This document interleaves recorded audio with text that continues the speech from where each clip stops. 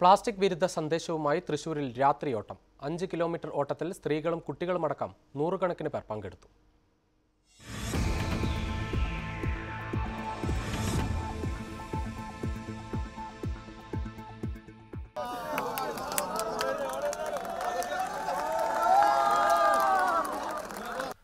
Plastic ഉപയോഗം കുറയ്ക്കുക പ്ലാസ്റ്റിക്കിന് പകരക്കാരനെ കണ്ടെത്തുക തുടങ്ങിയ സന്ദേശങ്ങൾ പ്രചരിപ്പിക്കാനാണ് രാത്രിയോട്ടം സംഘടിപ്പിച്ചത്. ഹാപ്പി ഡേ ഷോപ്പിംഗ് ഫെസ്റ്റിവലും തൃശൂർ കോർപ്പറേഷനും എക്സൽ അത്ലറ്റിക്സ് ക്ലബും ചേർന്നാണ് പരിപാടി ഒരുക്കിയത്. രാത്രി പത്ത് മണിക്ക് ശേഷം നടന്ന മത്സരത്തിന് നൂറുകണക്കിന് ആളുകളിലെത്തി. പരിസ്ഥിതിക്ക് യോജിക്കുന്ന പ്രകൃതിയോട് ഇണങ്ങുന്ന പ്രകൃതിയോട് യോജിക്കുന്ന ഒരു സംസ്കാരമാണ് ഒരു വികസനമാണ് നമുക്ക് വേണ്ടതെന്നുള്ള ഒരു വളരെ മഹത്തായ സന്ദേശമാണ് ഈ പരിപാടിയിലൂടെ ഈ ഒരു കൂട്ടയോട്ടത്തിലൂടെ തൃശ്ശൂർക്കാരായി ഞങ്ങൾ പ്രഖ്യാപിക്കുന്നത്. വിജയികൾക്ക് ക്യാഷ് പ്രൈസ് സമ്മാനിച്ചു.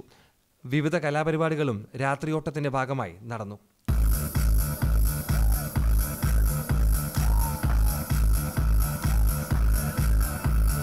एशियानेट न्यूज़ त्रिशूर